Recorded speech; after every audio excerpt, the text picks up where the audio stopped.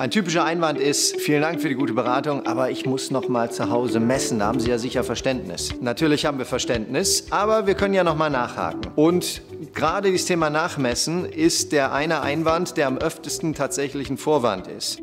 Es gibt oft zwei Gründe, der eine, der gut klingt und der andere, der wahr ist. Und die Leute nehmen meistens den, der gut klingt. Und wenn sie sagen, sie wissen nicht, ob das so richtig reinpasst, dann klingt das gut und der Verkäufer entspannt sich meistens. Wir entspannen uns auch, gehen aber trotzdem aktiv mit dem Einwand um nach dem Einwandbehandlungsprozess. Sie erinnern sich, das Erste, wenn es einen Schlag tut, das heißt, wenn es einen Einwand gibt, puffern. Wir lehnen uns zurück, entspannen die Schultern und hören nickend dem Kunden zu. Im Blickkontakt auf, nicken und hören zu und entspannen uns. Legen Stift weg, legen die Tastatur zur Seite, was auch immer da äh, diese Situation ausgelöst hat, ich will das jetzt nicht, muss sofort weggeräumt werden außer Sicht. Wir nicken und hören zu. Als nächstes die Phase aktives Zünden. Verstehe ich Sie richtig? Sie sind nicht ganz sicher, ob das so reinpasst und wollen nochmal in Ruhe und ganz ordentlich zu Hause alles ausmessen. So, als nächstes erklären wir, ich bin okay, du bist okay, warum wir Verständnis dafür haben. Wissen Sie, da kann ich Sie gut verstehen. Für mich ist das noch wichtiger als für Sie, dass nachher alles reinpasst. Wissen Sie, wenn die, wenn die Monteure das nachher bei Ihnen reinschleppen und mich dann anrufen und sagen, du, das passt nicht, da geht die Tür nicht mehr auf,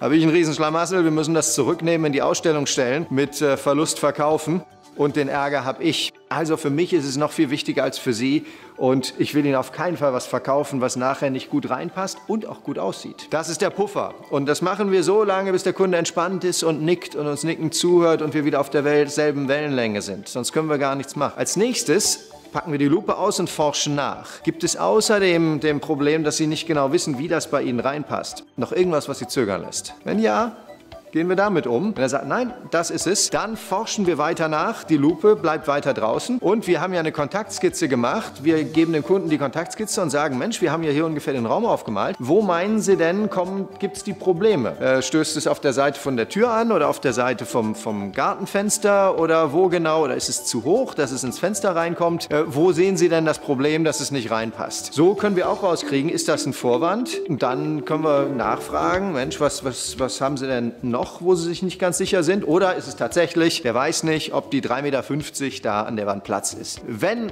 der Einwand isoliert ist, das heißt, wenn, wenn wir wissen, das ist, äh, das ist es, es gibt sonst nichts, was ihn zögern lässt und es geht darum, passt es neben die Tür, passt es nicht neben die Tür, Erst dann rütteln wir nochmal an dem letzten Einwand. Das heißt, gucken, ob diese eine Wand, die dahinter steht, der Einwand, tatsächlich fest ist und wir damit umgehen müssen und sagen, stellen Sie sich vor, Sie wären jetzt zu Hause und hätten alles ausgemessen, vielleicht sogar mit Pappkartons auf dem Boden ausgelegt und es passt alles rein, könnten Sie dann eine Entscheidung treffen. Das ist der letzte Schritt der Einwandisolierung. Dann würde ich mich gut fühlen mit der Entscheidung. Erst wenn das gegeben ist, Sie erinnern sich dran, wachsen die Lippen aus der, aus der Einwand und wir fangen an, den Einwand zu beantworten und sagen, wissen Sie, dann schreibe ich Ihnen das hier so auf, damit ich Ihnen schon mal den Preis reservieren kann. Ich schreibe Ihnen drauf, Maße frei bleibend. Sie können das jederzeit auf dem Sofa mit anderen Maßen ändern. Und dann äh, fahren Sie nach Hause oder vielleicht bieten Sie auch an, äh, selber nochmal vorbeizufahren, messen das aus und dann haben wir beide Sicherheit, dass das gut reinpasst. Und wenn nicht, ändern wir die Maße auf ein anderes Modell. So, wenn der Kunde unterschreibt, dann hat er zumindest mal die Entscheidung aus den Füßen und ist damit in der Regel glücklich. Die Kunden wollen